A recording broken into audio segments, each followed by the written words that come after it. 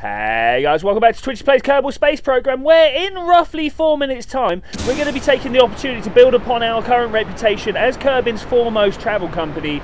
But right first now, what we're going to do is just uh, engage in a little bit of crash commercialism because someone wants a satellite up in an equatorial orbit, and you know what? I think that is well within the realms of our particular company's capabilities. Let's be honest here, we've sent the Kerbals to the moon. We have got them back. Launching a single ton's worth of space junk into a high, high orbit around the equator is absolutely no problem for us at all.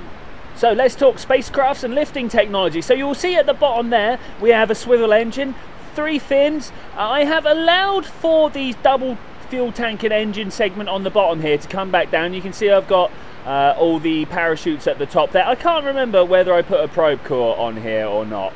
Uh, it's a little bit of an oversight if I did not. We used three RC10s, RJ10s, RT10s, Indeed, that's what they are. Uh, around the bottom of the engines to give us just a little bit of thrust when we're on the launch pad because the uh, to weight ratio here isn't quite as good as it could be just on this single stack, so we had to go with that. We're just coming upon our staging at the top of our arc here, and you can see our apoapsis is up at quite a remarkable height there. This is mainly so that when I drop the stage, as I have, we can let it crash down to the surface of Kerbin without really having to worry too much about what things are doing. Now, you'll see here, I've through sheer luck more than anything, managed to get my apoapsis um, directly opposed to uh, the periapsis that we need to be headed towards here. So I'm going to take full advantage of that. When I'm at my apoapsis, we're going to push up the other side of orbit to come up and meet the periapsis of the intended orbit. Obviously, with these launch a satellite up to a certain altitude type contracts, you don't actually have any sort of targeting you can aim towards. So there's no like purple marker, pink marker for us to aim towards. So we're just going to have to kind of do it off of the skin of our teeth and just just use our innate pilot skills to be able to do this because you know I am dripping in innate pilot skills. And that is not just some sort of empty boast there. You can see by this a beautiful camera shot here that I knew exactly where my flight was going to take place. I mean, who doesn't want to watch this beautiful hot plume of rocket fuel come out the back when the entire ship that I am in is bathed in darkness? It's the contrast, right? That, that's exactly what I'm doing it for and not at all because it just happened to be the way things lined up. Oh, no, no, no. But anyway, here we go. We've got our periapsis, well, we've got our apoapsis up to touch the periapsis of the one we are going for, and that, that's pretty cool. Uh, I spent a little bit of time going, oh, why can't I target this? Because for some reason I just completely forgot what everything was all about here. So to work around the fact that I have no idea what inclination my current orbit is compared to the, the target one, I remembered that the rescue vessels, or rather the vessels that we had to rescue Kerbins from, are actually on equatorial orbits, or at least the ones going around the planet are. So I targeted one of those and that then gave me a beautiful descending node to worry about.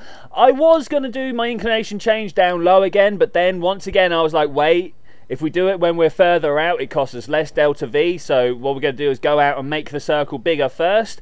Little bit of a tip there if you're ever worried about uh, running out of fuel. As you can see, I am starting to run out of fuel. My delta V is getting a little bit worrying there, but I still have something like 100 odd um, meters per second in delta V, so that, that should be fine. We're, we're going to get down to about 150 before we start thinking about what our inclination nodes should be. And having a look around, that is everything before we even before we even got it set set up on a proper thing. So there we go. Awesome. Yeah, job done. Let, let's get back to this tourist thing that I was going on about, right?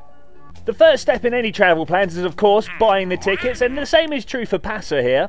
Uh, the second is boarding the craft, and I would like to say welcome to the new daughter company of Twitch Tech, Jeb's Jolly Space Jaunts. This, of course, being the first historic launch. We have actually taken some guys above the atmosphere once before, but this is the first time we were taking them full on into orbit, into space, getting everything set up and ready. Now, you notice that we launched from the spaceplane hangar. This is because my plan was to make an SSTO, but unfortunately, having a look at like the plane parts I had and what rocket parts I had, this was just not going to be feasible with what technology level we've got. So I built ourselves a little bit of a rocket here, but I'm going to keep the design in the space plane hangar so that as time goes on, we can slowly tweak the design, get it more towards a space plane that will go up and fly stuff uh, into orbit for us. Now, we're not just going to talk about this particular flight. Obviously, I want to lean quite heavily on the tourist aspect of the latest version of Kerbal Space Program, and not just that, I wish to use the resource gathering and stuff like that. So, what I want to do over the next course of a few episodes is like the first thing is to get the full size docking ports. This is stopping me in my grand vision of everything that is to come. The next thing is I want to make some sort of shuttle that goes up to a orbital space station around Kerbin, where we will launch a few sort of round trip shuttles, some going to the moon, some going to Minmus, and possibly being a staging post for any future tourists that want to go off to the outer planets, or maybe we'll actually have them in a, a station around Minmus, or perhaps the moon. No, I think Minmus. And then running parallel to all that, at every space station, we will have a small mining operation so that we can refuel these shuttles uh, and get the SSTO up and down for like just the cost of the fuel and stuff like that. So that tourism becomes a, a kind of ever running thing so that like every any contract that we see going into the space and uh, going into mission control sorry anything that Gene tells us we can do we'll just pick it up straight away put them on the next launch up to the space stations and then like filter them off depending on where they want to go to either the Mun station or the Minmus station, or perhaps transfer them off to one of the big ships that will be being built in a slightly higher orbit around Kerbin. That, that's what I'm hoping for anyway, like really hoping for, but there, there we go. Uh, right, so right now what I'm trying to do is give uh, Passer here a view of that particular spacecraft right ahead of us. We had launched uh, quite well um, for such an approach and unfortunately it didn't quite work out the closest approach we're going to have here is about four or five kilometers which is quite nice what we're going to do is turn pass around so that she can actually look at everything that's going on here obviously as a tourist tourist flight this is going to be all about the spectacle right being able to see things uh, watching the staging happen uh, i know you guys i know i was a bit talking over the top of it all at the time, but all the staging had little flary bits going off at the right time. Uh, so that Passer could be like, oh, look at all these things happening for us. And there we go. We just whipped over the top of that other spacecraft. So that, you know, there was a bit of a close encounter. What we're going to do is come up to our apoapse here, which I have put quite far out, specifically so Passer could have a look through that cockpit shuttle there uh, at Minmus, at the moon, sorry, uh, and at Kerbin, just to just see what is everything's going on, get, have a good old look at everything around. This is space. You have never been up here before. Enjoy it. Uh, and particularly looking at Kerbin. That, that's quite nice. Right, so what we're going to do now is try and bring our periapsis... Oh, no, wait. First we had to take bring our periapsis up above into an orbital uh, situation so that Passer's travel itinerary was finished there. Then we're going to watch a lovely sunset uh, and the, the, the, city lights flashing out there. I'm never sure whether I like those city lights. They're, they're really good when you're up in space. They are really good when you're up in space. But when you are traveling around in a, in a, a plane or something like that, they, they just look a little bit naff. So my next concern is coming home, and what I would do normally with any normal uh, rocket launch is to go up to my apoapse, burn my periapse down to just inside the atmosphere, and bring that down through a nice aerobrake maneuver. Now, I do not have air, uh, heating shields on here, so I cannot go about it the same way. So what I'm doing is bringing my orbit down as low as possible, so that my speed when we're coming into the atmosphere is also going to be as low as possible. We're just kind of slow ourselves down as much as we can without actually entering the atmosphere. And then we start thinking about how we are going to enter the atmosphere. Like, what sort of height are we actually going to be grazing through to get these guys down without killing them? Um, and that that is my idea right now. Uh, what we are actually going to do is come down just inside the atmosphere and then bring the other side down just inside the atmosphere and just try to bleed off speed without burning things up. I hope that bring my periapse down to just about 50 kilometers it will be fine but of course our first priority here is making sure that Passer has a good time. She is looking backwards at the moment she looks out through the cockpit and sees this absolutely amazing vista before us. We've not quite got to the point where we are slowing down so fast that we have to worry about like um, atmosphere burn or anything like that. Though I do have some things stuck on the side of the ship that I, I know will start triggering like heating effects quite early. Uh, will in fact start taking damage from the heating effects long before we see any actual visual heating effects. But whilst we're up here, up nice and high, not quite really having to worry about that sort of thing, again, we're just going to let Passer watch the whole world go by. Switching over to Jeb and having a look inside our map view, we can see that we are actually on a, a uh, collision course now.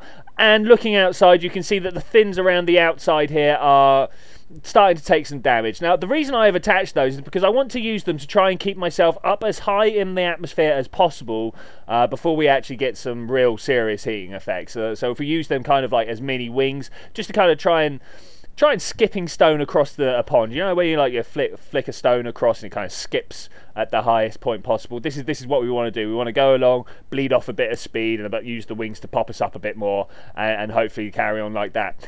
Didn't quite work out like that because you know orbital dynamics and shit don't work quite as you expect them to.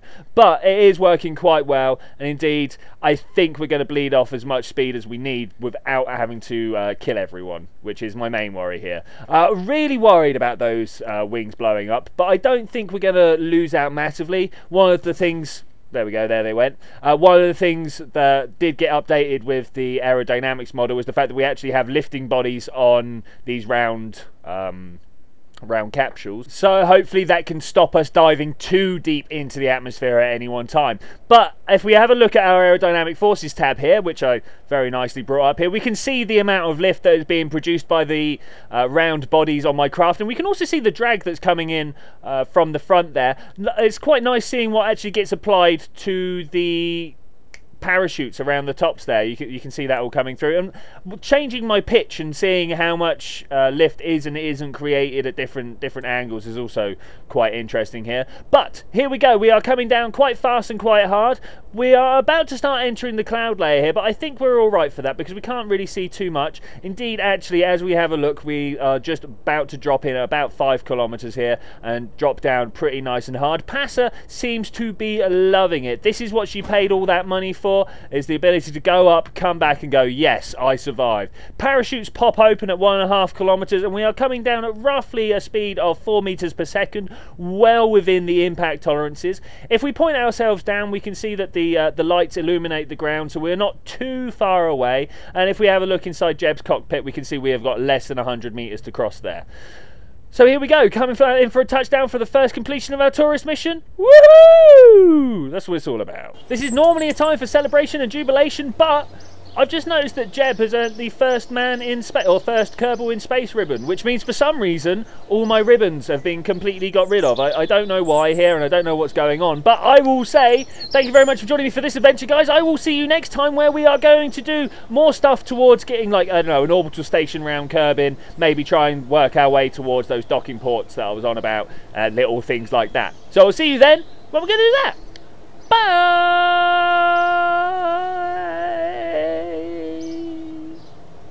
literally everyone's ribbons are missing and I don't know what to do about it.